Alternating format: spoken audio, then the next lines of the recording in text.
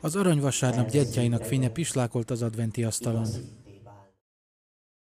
Kosztolányi Dezső írta, hogy adni azért is öröm, mert olyankor észrevehetjük az emberek arcán tükröződő örömöt.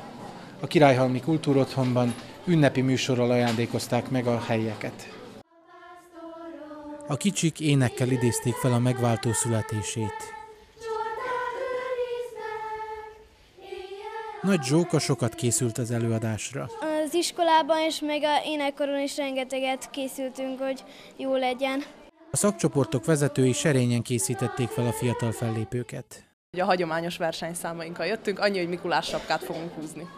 A Petőfi Sándor Művelődési Egyesület tagjai a karácsonyi kavalkáddal búcsúztatták az új évet. Ez az évszáró, ez a karácsonyi műsor, ez, ez talán a legszebb összefoglalója az évi munkánknak, tehát ezt, ezt nagyon régi idők óta megünnepeljük. Volt, akinek ülőhely sem jutott, annyian jöttek el az ünnepi délutánra. A helyiek büszkék a fiataljaikra és az őket felkészítő pedagógusokra is.